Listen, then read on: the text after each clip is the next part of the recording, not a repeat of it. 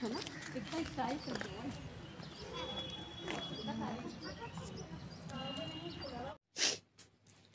Friend good morning कैसे हैं आप सब? आशा करते अच्छे होंगे और मैं भी अच्छी हूँ। तो आप सब अच्छे रहिए, स्वस्थ रहिए, मस्त रहिए। तो आप सबका बहुत बहुत स्वागत है मेरे किचन और ब्लॉग में फ्रेंड तो देखिए, इधर मेरे कृष्णा नहा के और साफ़ सुथरा मैंने कर दिया कृष्णा को और बैठा दिया है, इनकी पूजा पाठ मैंने कर दिया है। इनके लिए मैंने नाश्ता बना लिया है और मक्खन मिश्री का भोग लगा दिया था मैंने। इधर घुंगरी बना दिया है मैंने, चाय तो कान्हा को भोग लगा दी हूँ। मेरे कान्हा यहाँ पे बैठ के भोग लगा रहे हैं और इधर मैं बनाने चल रही हूँ हलवा, जो कि कान्हा को मैं हलवे का भी भोग लगाऊँगी। मेरे कान्हा आज हलवा खाएँगे गाजर का। तो देखिए गाजर को मैंने छील के इस तरीके से हल्का छील दिया है। अब मैं कद्दूकस कर ले रही हूँ। तो देखिए, मैंने इधर गाजर को कद्दूकस कर लिया है फ्रेंड तो बहुत ही अच्छा बनता है गाजर का हलवा। और ज़्यादा मैं नहीं बनाती थोड़ा थोड़ा बनाती हूँ। एक दिन छोड़ के एक दिन ताज़ा ताज़ा बनाती हूँ, तब खाने में भी अच्छा लगता है। तो इधर देखिए मैंने यहाँ पे केवल दूध डाल के बनाएँगे खो, बिना खोए का गाजर का हलवा। तो बहुत ही अच्छा बनता है, बहुत ही टेस्टी बनता है।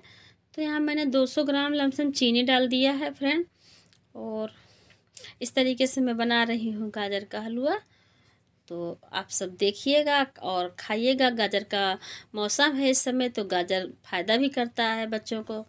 और इधर देखिए, ठंडी का मौसम है और यहाँ पे तत्ता जल गया है, जैसे गाँव वाँव में, कौड़ा कहते हैं। तो वही जल गया है यहाँ पे, हम लोग जला के रोज़ बैठते हैं।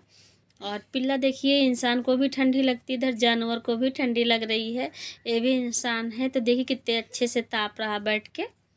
और इधर मैंने आगी जलाई है तो यहाँ पे बहुत से लोग बैठे हुए हैं तापने के लिए। तो आप सबको पता है कि जब कई लोग रहते हैं, तब तब तक तापने में बहुत मज़ा आता है अच्छा लगता है। तो फिर यहाँ पे हम लोग तब तक ताप रहे हैं इस तरीके से। और अच्छा भी लगता है फ्रेंड ना, जैसे कि कई लोग बैठे तो बातचीत होती रहती है और आग तापते रहते हैं हम लोग। तो ठंडी बहुत है फ्रेंड आप सब बचा के रहिएगा, आगे जला के तापते रहिएगा।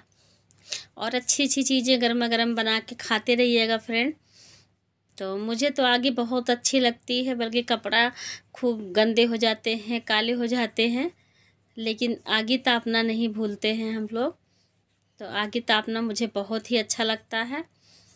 इस तरीके से जलाते हैं आगे। तो वीडियो कैसी लगी फ्रेंड? कमेंट में बताना, लाइक करना